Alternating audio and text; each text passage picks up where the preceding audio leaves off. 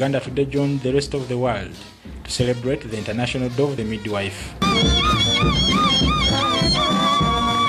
On the theme Midwives, Defenders of Women's Rights, the day celebrated annually to stand in solidarity with the midwives around the world to thank them for the life-saving work they do.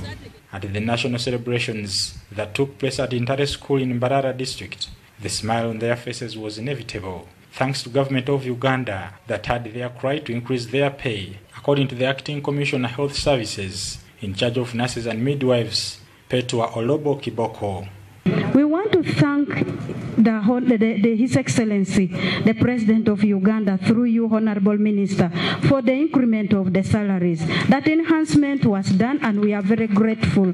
And Honorable Minister, we are saying we are going to try our best to put our hands on the ground, to work and be there for the patients. But we want to be backed up. As government, and most especially the President of the Republic of this country, is so passionate about the work of midwives and nurses. That is why the salary enhancement has really been directed to that effort, and we are grateful to the President. And we expect God to give him long, long life.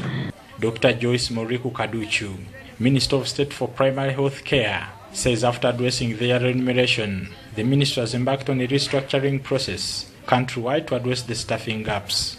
The Ministry of Health has been restructured so that it can accommodate the enlarging huge number of population. At regional level, the restructure started with Mbarara Regional Referral Hospital such that we get more room for more people. And this restructuring from Mbarara is going to be replicated in other regional referral hospital and thereafter it goes to the district facilities. With support from the government of Sweden, since 2010, the United Nations Population Fund has worked with the Ministries of Health and Education to improve midwifery standards, especially in hard to reach areas. 590 midwives have benefited from the midwifery training, bursary, and, bo- and bonding program. So far, 451 of them, Honorable Minister, have completed the training, of which 306, representing 86, 68%, have been deployed across the country. This has been one of the strategic interventions to address the midwifery deficit, especially in the hard to reach areas of the Karamoja region. The contribution of midwives has seen a tremendous reduction in maternal mortality ratio from 506 deaths to 336 deaths per 100,000 live births between 2001 and 2016.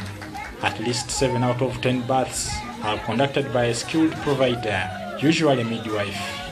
The 2014 midwifery report shows that access to skilled birth attendance could reduce maternal mortality by over 87%.